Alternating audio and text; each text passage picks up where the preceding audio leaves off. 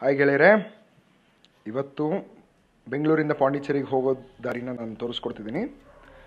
ಬೆಂಗಳೂರಿಂದ ಪಾಂಡಿಚೇರಿಗೆ ಹೋಗೋದಕ್ಕೆ ಮುನ್ನೂರೈವತ್ತು ಕಿಲೋಮೀಟ್ರ್ ಆಗ್ತದೆ. ಹೋಗೋದಕ್ಕೆ ಎರಡು ಮೂರು ದಾರಿಗಳಿದೆ. ಅದರಲ್ಲಿ ನಾನೀಗ ಚೂಸ್ ಮಾಡಿರೋ ದಾರಿ ಬಂದು ಕೃಷ್ಣಗಿರಿ ಮತ್ತು ಜಿಂಜಿ ರೂಟ್ ನೀವು ಇದರಲ್ಲಿ ನೋಡ್ಬೋದು ಚೆಂಗಮ್ ರೋಡ್ ನಾವಾಗಲೇ ಹೊರಟು ನೂರು ಕಿಲೋಮೀಟ್ರ್ ಆದಮೇಲೆ ಇದನ್ನು ರೆಕಾರ್ಡ್ ಮಾಡಿರೋದು. ಒಟ್ಟು ಜಿಂಜಿ ರೋಡ್ ಮೇಲೆ ಬಂತು ಅಂತ ಹೇಳಿದ್ರೆ ನಿಮಗೆ ರೋಡ್ ವೇಸ್ ಅಷ್ಟು ಪರ್ಫೆಕ್ಟಾಗಿಲ್ಲ ಸಿಂಗಲ್ ಲೈನ್ ರೋಡ್ಸೇ ಜಾಸ್ತಿ ಇರೋದ್ರಿಂದ ನಿಮಗೆ ಸ್ವಲ್ಪ ತೊಂದರೆ ಆಗಬಹುದು. ಡ್ರೈವಿಂಗ್ ಚೆನ್ನಾಗಿ ಬರುತ್ತೆ ಅಂತ ಹೇಳಿದ್ರೆ you can take the road ಆದರೆ ರೋಡ್ ಖಾಲಿ ಇರುತ್ತೆ. It's a good way good view ಒಟ್ಟು ಹೋಗೋದಕ್ಕೆ ನಮಗೆ ಆರು ಗಂಟೆಗಳ ಕಾಲ ಹಿಡಿತು. ಈಗ ನೀವು ನೋಡ್ತಾ ಇದ್ದೀರಾ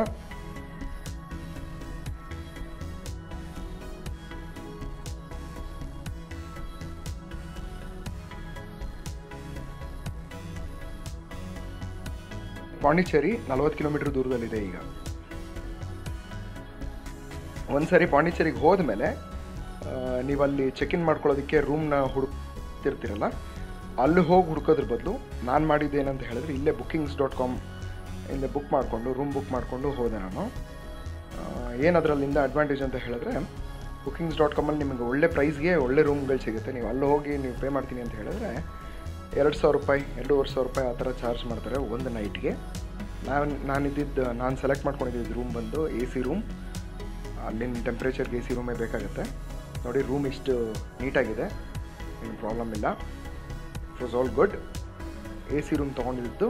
ನಾನು, ನನಗೆ ಚಾರ್ಜ್ ಆಗಿದ್ದು ತೌಸಂಡ್ ಫೈವ್ ಹಂಡ್ರೆಡ್ ರುಪೀಸ್ ಹೋಗಿದ ತಕ್ಷಣ ಪೇ ಮಾಡಿಸ್ಕೊಳ್ತಾರೆ ಕಾರ್ ಪಾರ್ಕಿಂಗ್ ಅವೈಲೇಬಲ್ ಇತ್ತು.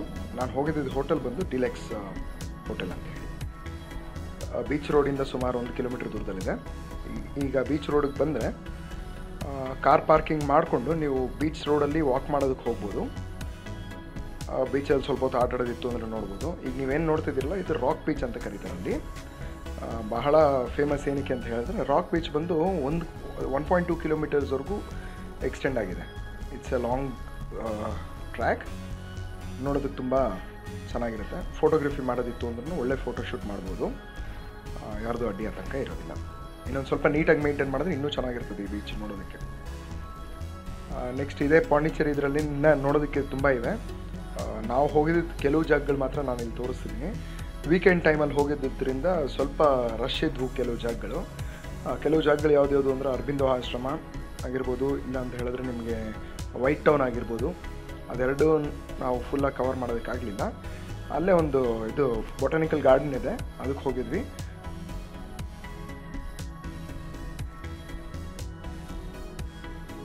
ಅಂಬೇಡ್ಕರ್ ಸ್ಟ್ಯಾಚು ನಿಲ್ಲಿಸಿದ್ದಾರೆ ಅದ್ರ ಹತ್ರ ಹೋಗಿ ಬಂದ್ವಿ. ವೇಫಲ್ಸ್ ಆನ್ ದ ರೋಡ್ ಅಂತ ಹೇಳಿ ಒಂದು ಅಂಗಡಿ ಇದೆ ಅಲ್ಲೇ will get a very good set of waffles chocolate waffles ಅಲ್ಲಿ ಚೆನ್ನಾಗಿರೋದು ತೊಗೊಬೋದು. ಹಾಗೆ ಇನ್ನೊಂದು ಸ್ವಲ್ಪ ಮುಂದೆ ಬಂದರೆ ಕೆಫೆ ಉಡುಪಿ ಹೋಟ್ಲ್ ಒಂದಿದೆ. ವೆಜಿಟೇರಿಯನ್ಸ್ಗಳಿಗೆ ಮೈ ಡಿಯರ್ ಫ್ರೆಂಡ್ಸ್ ನೀವು ಅಲ್ಲಿ ಹೋದರೆ ಒಳ್ಳೆ ಊಟ ಸಿಗ್ತದೆ. ನಿಮಗೆ ತುಂಬ ಚೆನ್ನಾಗಿರೋವಂಥ ಊಟ ಅಂತ ಹೇಳಿದ್ರೆ, ನಾವು ಇಷ್ಟಪಟ್ಟು ತೊಗೊಂಡಿದ್ದು ಅಂತ ಹೇಳಿದ್ರೆ ಮಿನಿ ಇಡ್ಲಿ. ಮಿನಿ ಇಡ್ಲಿ ಸಾಂಬಾರ್ ಅಂತ ನೀವು ನೋಡ್ಬೋದು. ಸೊ ಮಿನಿ ಇಡ್ಲಿ ಸಾಂಬಾರ್ ತುಂಬ ಟೇಸ್ಟಿಯಾಗಿತ್ತು. Rava, dosa all the things that we tasted it was good ಹಾಗೆ ಇನ್ನೊಂದು ಸ್ವಲ್ಪ ನೀವು ಬೀಚ್ ರೋಡಿಂದ ಹೊರಗಡೆ ಹೋಗ್ತೀನಿ ಅಂತ ಹೇಳಿದ್ರೆ ಅದೇ ನೈಟ್ ಟೈಮಲ್ಲೇ ಯು ಕ್ಯಾನ್ ಅಲ್ಲಿರೋ ಜಾಗ ಅಂತ ಹೇಳಿದ್ರೆ ವೈಟ್ ಟೌನಲ್ಲಿ ನೀವು ಶಾಪಿಂಗ್ ಏನೋ ಪರ್ಚೇಸ್ ಏನೋ ಪರ್ಚೇಸ್ ಮಾಡಬೇಕು ಅಂದ್ರೆ ಹೋಗ್ಬೋದು. ಒಳ್ಳೆ, ನೈ ಇದು ಅಂಗಡಿಗಳು ಸುಮಾರು ಓಪನ್ ಇರ್ತದೆ ನಾನು ಹೋಗಿದ್ದು ಫ್ಯಾಮಿಲಿ ಸಮೇತವಾಗಿ, ನೀವು ಫ್ರೆಂಡ್ಸ್ ಜೊತೆ ಏನಾದರೂ ಹೋಗೋದಾಯಿತು ಅಂತ ಹೇಳಿದ್ರೆ ಇದು ಚೀಪ್ ಲಿಕ್ಕರ್ ಸಿಗೋದಕ್ಕೆ ಒಳ್ಳೆ ಜಾಗ ಇದು. ಒಳ್ಳೊಳ್ಳೆ ಹೋಟೆಲ್ಗಳಿವೆ. ನಮ್ಮ ರೆಕಮೆಂಡೇಶನ್ ಉಡುಪಿ ಹೋಟೆಲ್. ಏನಕ್ಕೆ ಅಂತ ಹೇಳಿದ್ರೆ ನೀವು ಆ ಜಾಗದಲ್ಲಿ ಇದು ಬೀಚ್ ವ್ಯೂನ ಎಂಜಾಯ್ ಮಾಡಿಕೊಂಡು ಊಟನ ಎಂಜಾಯ್ ಮಾಡ್ಬೋದು. ಅದಕ್ಕೋಸ್ಕರ. ಮತ್ತು ಪಾಂಡಿಚೇರಿದು ಏನು ಸ್ಪೆಷಲ್ ಅಂತ ಹೇಳಿದ್ರೆ, ನೀವು ಸನ್ರೈಸ್ ವ್ಯೂ ಚೆಕ್ ಮಾಡ್ಬೋದು. ನಾನು ಹೋಗಿದ್ದು ಎರಡು ದಿನದ ಮಟ್ಟಕ್ಕೆ. ಒಂದಿನ ಹೋಗಿ ನೆಕ್ಸ್ಟ್ ಡೇ ಬೆಳಗ್ಗೆ ಸನ್ರೈಸ್ ಫೋಟೋಗ್ರಫಿ ಮಾಡೋದು ನನ್ನ ಹಾಬಿ ಸೊ ಫೋಟೋಗ್ರಫಿ ಮಾಡೋದಕ್ಕೋಸ್ಕರನೇ ಅಲ್ಲಿಗೆ ಹೋಗಿದ್ದು ಪಾಂಡಿಚೇರಿಗೆ ಮೇಯ್ನಾಗಿ ಒಳ್ಳೊಳ್ಳೆ ಫೋ ಫೋಟೋಶೂಟ್ ಸಿಕ್ಕಿದೆ. ಒಳ್ಳೆ ಫೋಟೋಶೂಟ್ ಮಾಡಿದೆ. ಒಳ್ಳೊಳ್ಳೆ ಶಾರ್ಟ್ಸ್ ಸಿಕ್ಕಿದೆ. ಸನ್ರೈಸ್ ನೀವು ನೋಡಬೇಕು ಅಂತ ಹೇಳಿದ್ರೆ ಸುಮಾರು ಒಂದು ಐದು ಗಂಟೆ, ಐದೂವರೆ ಅಷ್ಟೊತ್ತು ನೀವು ರೂಮ್ ಬಿಟ್ಟರೆ ಅಲ್ಲಿ ಬೀಚ್ ರೋಡ್ ಹತ್ರ ಹೋಗೋದಕ್ಕೆ ಕನ್ವೀನಿಯೆಂಟ್ ಆಗಿರುತ್ತೆ. ಇನ್ನೊಂದು ಬೀಚ್ ರೋಡಲ್ಲೇ ನಿಮಗೆ ಸುಮಾರು ರೆಸಾರ್ಟ್ಗಳಿವೆ ಆದರೆ ಅದೆಲ್ಲ ಅಡ್ವಾನ್ಸ್ ಬುಕ್ಕಿಂಗ್ ಮೇಲೆ ಬುಕ್ ಆಗೋಗಿದ್ವಿ ನಾನು ನೋಡಿದಾಗ. ವೀಕೆಂಡ್ಸ್ ಟೈಮಲ್ಲಿ ಸಿಗೋದಿಲ್ಲ.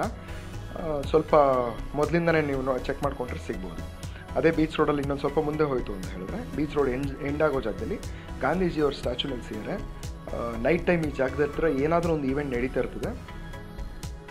ಎದುರುಗಡೆ ನೋಡಿ ಈ ಥರ ಖಾಲಿ ಜಾಗ ಇದೆ. ಈ ಖಾಲಿ ಜಾಗದಲ್ಲಿ ಏನಾದರೂ ಈವೆಂಟ್ ನಡೀತಾ ಇರುತ್ತೆ. ಸೊ ನೀವಿಲ್ಲಿ ಹೋಗ್ಬೋದು, ಒಂದು ಸ್ವಲ್ಪ ಫೋಟೋಶೂಟ್ ಮಾಡ್ಕೊಂಡು ಬರ್ಬೋದು. ಇದಿಷ್ಟೊಂದು ಜಾಗ ಆಯಿತು ಅಂದರೆ. ನೆಕ್ಸ್ಟ್ ಇದೇ ಜಾಗದಲ್ಲೇ ಬೆಸಲಿಕಾ ಅಂತ ಹೇಳಿ ಇನ್ನೊಂದು ಚರ್ಚ್ ಇದೆ. Basilica of the secret heart of Jesus ಅಂತ. ಒಂದು ಚರ್ಚ್ ಇದೆ. ನೋಡೋದಕ್ಕೆ ತುಂಬ ಚೆನ್ನಾಗಿದೆ. ಅಲ್ಲೋಗಿ ಬರ್ಬೋದು.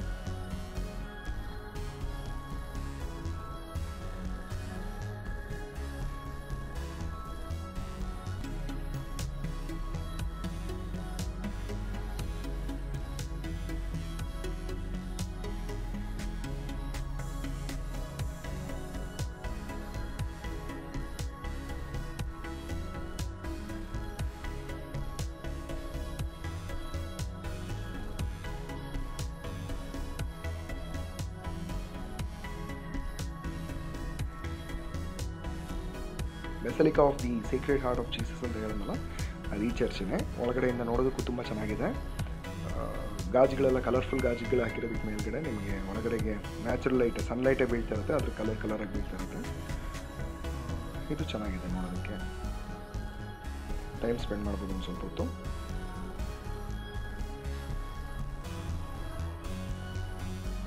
ನೀವು ಇಲ್ಲಿಂದ ಹೊರಗಡೆ ಹೋಗೋದಾಯಿತು ಅಂದರೆ ಅರವಿಂದ ಆಶ್ರಮನ ಹೇಳ್ದಂಗೆ ನಾವು ಹೋಗೋದಕ್ಕಾಗಲಿಲ್ಲ. ನೀವು ಪ್ಲ್ಯಾನ್ ಮಾಡಿಕೊಂಡ್ರೆ ಹೋಗ್ಬೋದು. ಆರೋವಿಲ್ ಅಂತ ಹೇಳಿ ಇನ್ನೊಂದು ಜಾಗ ಇದೆ. ಆರೋವಿಲ್ ಅಂದರೆ ಅಲ್ಲಿ ಪಾಂಡಿಚೇರಿಯಿಂದ ಸುಮಾರು ಒಂದು ಐದರಿಂದ ಆರು ಕಿಲೋಮೀಟರ್ ದೂರದಲ್ಲಿದೆ. ಅಲ್ಲಿ ನೀವು ಹೋಯಿತು ಅಂತ ಹೇಳಿದ್ರೆ ಗೋಲ್ಡನ್ ಗ್ಲೋಬ್ ನೋಡ್ಬೋದು. ಗೋಲ್ಡನ್ ಗ್ಲೋಬ್ ಅಂತ ಹೇಳಿ ಒಂದು ಕನ್ಸ್ಟ್ರಕ್ಷನ್ ಮಾಡಿಟ್ಟಿದ್ದಾರೆ.